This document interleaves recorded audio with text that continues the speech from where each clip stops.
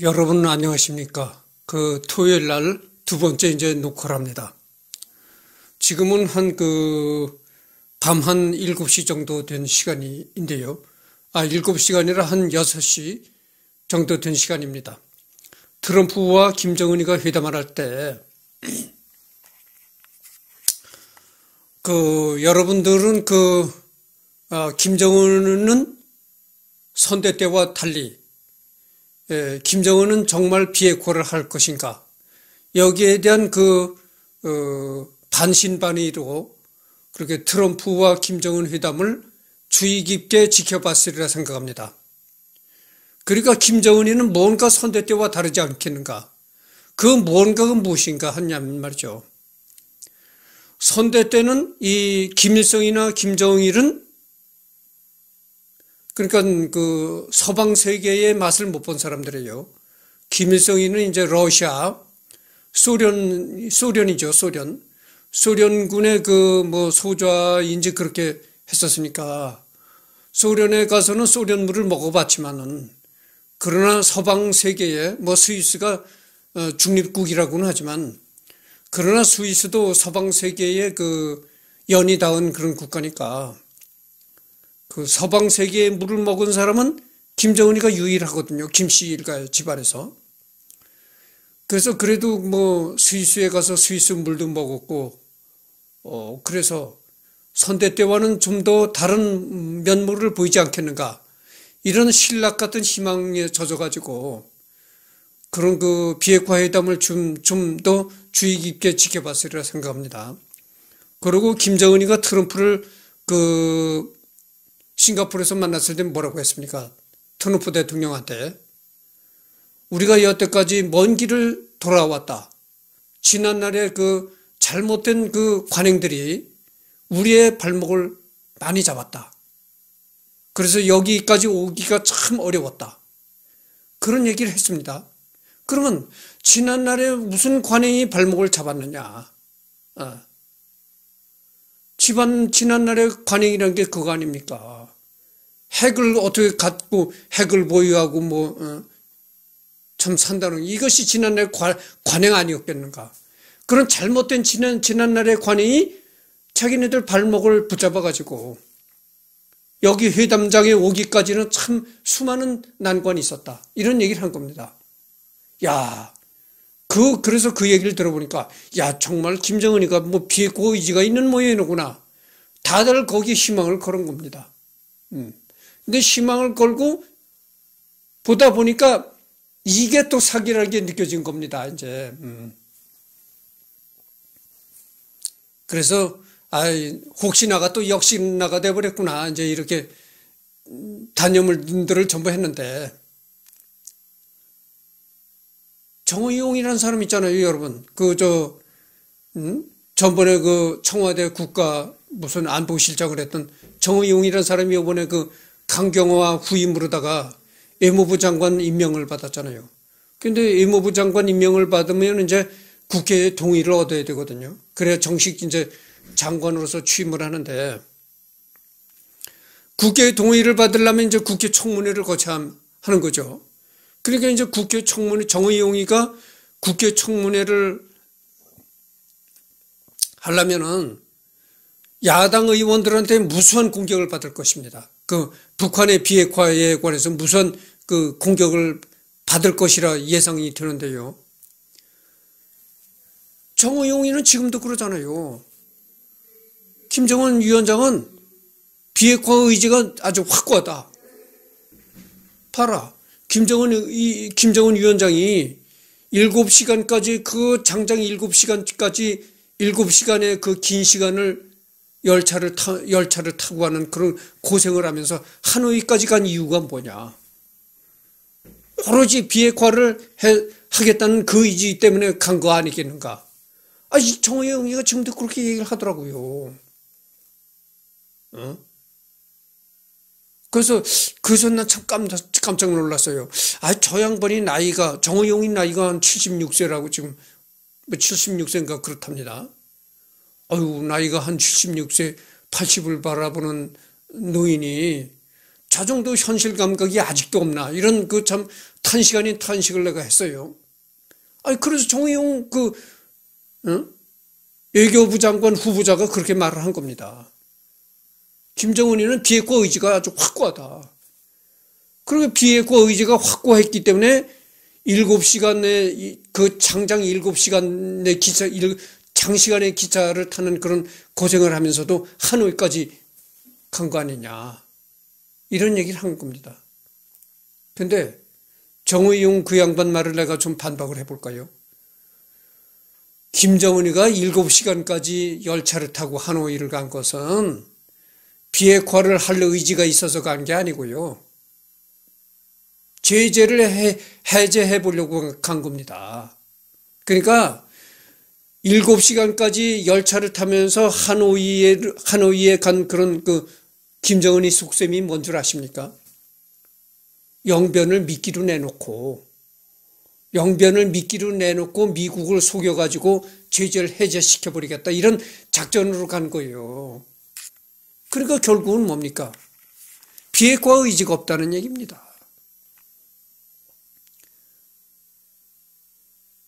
정부 당국에서 다 그래요. 영변의 핵단지는 거의 이제 수명이 다, 단 곳이라는 겁니다.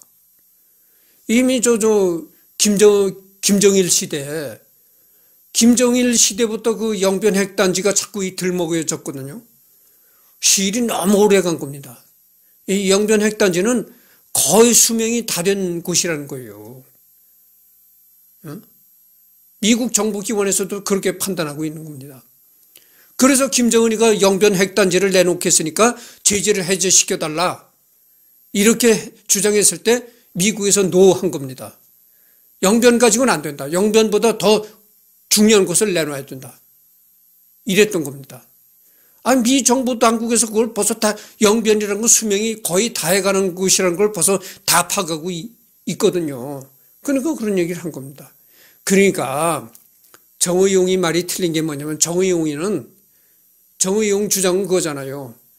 김정은이가 비핵화할 의지가 그렇게 확고하니까 그 일곱 시간이란 긴 시간 동안을 어? 열차를 타고 가는 고생을 하면서도 하노이까지 간 것 아니겠느냐. 그것만 봐도 김정은이의 비핵화 의지가 확고하다는 걸 알 수 있지 않느냐. 이렇게 얘기를 하는 겁니다.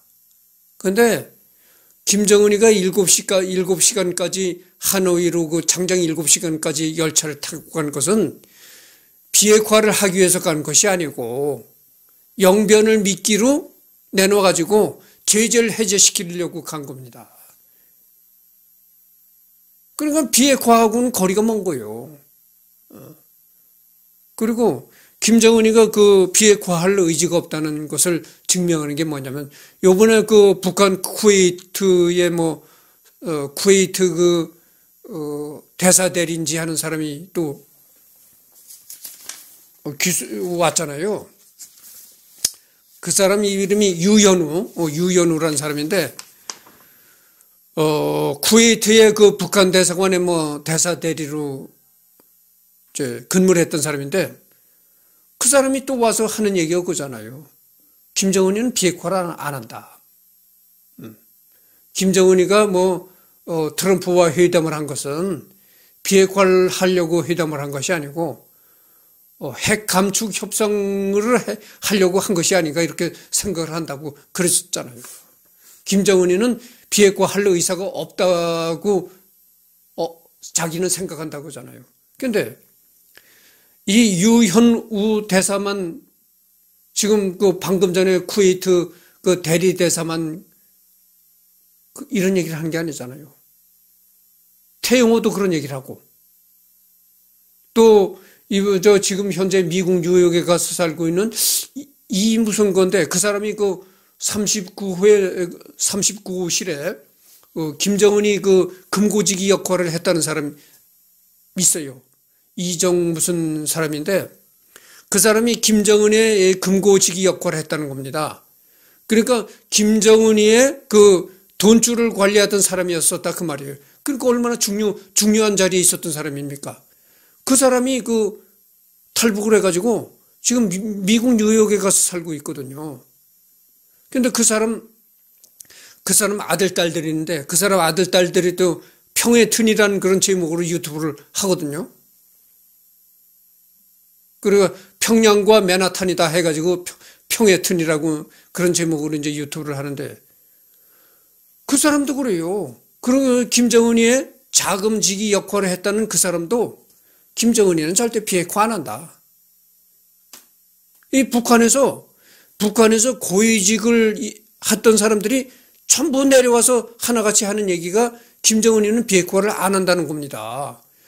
전번에 그, 뭐, 이태리를 거쳐서 뭐, 이태리를 거쳐서 국내로 들어왔다는 뭐, 조성길 대사 있잖아요. 아, 조성길 대사도 그러잖아요. 김정은이 비핵화 안 한다고. 그러니까, 이 북한에서 고위층을 지냈던 사람들이 하나같이, 이구동성으로 하나같이 다 합창하는 게 김정은이는 비핵화를 안 한다는 얘기입니다. 근데 근데 정의용이 그 사람은 뭐 어떻게 그렇게 독불장군으로 그렇게 김정은이는 비핵화를 한다고 그렇게 주장하는지 모르겠어요. 아니 뭘 믿고 그렇게 주장하는지 난 참 알다가도 참 모르겠어요. 아니 북한에서 바로 김정은이 밑에서 고위직을 고위직을 지냈던 사람들이 전부 하나같이 김정은이는 비핵화를 안 한다고 똑같이 합창을 해야 되는데. 아, 정의용이라는 사람이 무슨 뭐 헛, 꿈에 헛것을 봤나? 왜 저렇게 그 뭐 김정은이는 비핵화를 한다고 확고하다고 참 웃기는 사람이에요. 근데 이 문 대통령도 문 대통령도 웃기는 사람이고 정의용이도 웃기는 사람이고 그래요. 이게 진짜 내가 이번 상황을 이렇게 보면서 또 하나 내가 생각한 게 뭐냐면은 뭐 2년 후인가 뭐 대통령 선거도 내가 문 대통령 임기가 얼마나 남았는지 난 그것도 확실히 모릅니다. 관심이 없어요. 확실히 모르는데 다음 대통령에서 더불어민주당이 정권을 재창출하지 못하면은 다음 선거에서 만약 정권이 야당으로 넘어갔다고 하면은 정권 교체가 됐다고 하면은 문재인 대통령은 말이죠. 이명박이 신세가 될 겁니다. 틀림없이 비핵화 사기에 노란한 제목으로 반드시 감옥에 보내려고 할 겁니다. 감옥살이 해야 거라고 난 믿어요. 아니 도대체 뭐, 무슨 뭘 했길래 그렇게 김정은이가 비핵화를 한다고 외쳐대는지는 모르겠어요. 아니, 북한에서 김정은이하고 매일 얼굴을 맞대면서 김정은 정부 밑에서 일을 했던 고위직들이 하나같이 김정은이는 비핵화를 안 한다고 다 외쳐대는데 아니 정의용이 그 사람이 참나 웃기는 사람이야 하여튼 그래서 그 이번에 정의용이라는 사람이 그 국회에 청문회를 지금 앞두고 있잖아요. 어. 외무부 장관 임명을 동의받으려면은 국회 청문회를 거쳐야 되는데 이 국회 청문회가 또 이제 예, 참 말싸움이 대단히 벌어질 거라 생각합니다. 이 야당에서 말이죠. 정의용이를 음, 지금 벼르고 있을 것 아니겠어요. 당신 말이야 뭘 믿고 김정은이가 그렇게 비핵화를 한다고 맨날 어, 떠들어대느냐. 일제히 공격을 정의영이한테 공격을 퍼부을 것 아니겠습니까? 그러니까 이 국회 청문회가 또 재밌어지리라 생각합니다. 하여튼.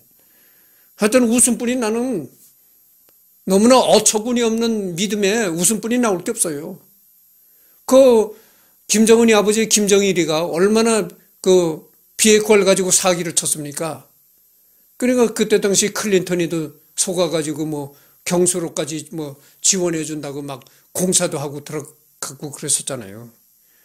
그렇게 김정, 김정일이가 비핵화, 비핵화 사기로 처먹었는데 김정은이도 또 똑같이 이제 비핵화 사기를 칠, 치는 겁니다. 이제. 하여튼 그래요. 어.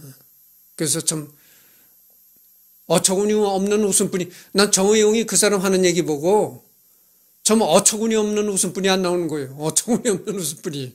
아니 북한에서 고위 김정은이 밑에서 바로 고위직을 했던 사람들이 전부 하나같이 김정은이는 비핵화를 안 한다고 외쳐대는데 되는데 아니 그 조성길 대, 대사 그다음에 요번에 그 귀순한 쿠웨이트의 뭐 그 쿠웨이트의 대시 대리 대사했던 유현우란 사람 그다음에 어? 미국 뉴욕에 살고 있는 김정은이의 돈줄을 관리하던 사람 그 사람 미국 뉴욕 뭐 이정 이정훈가 그 사람이 가 있잖아요. 그 사람들 하나같이 똑같이 합창하는 게 겁니다. 김정은이 비핵화 안 한다고. 그런데 도대체 정의용 이런 사람이 북한에 가서 김정은이하고 한 번 악수했다고 그 악수한 그걸 믿고서는 그러나 봐, 이 사람이 참. 그까지 악수가 무언데. 참 웃기는 사람이에요.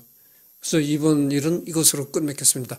하여튼 뭐 웃음뿐이 안 나오는 거예요. 하도 어이가 없어서 내가.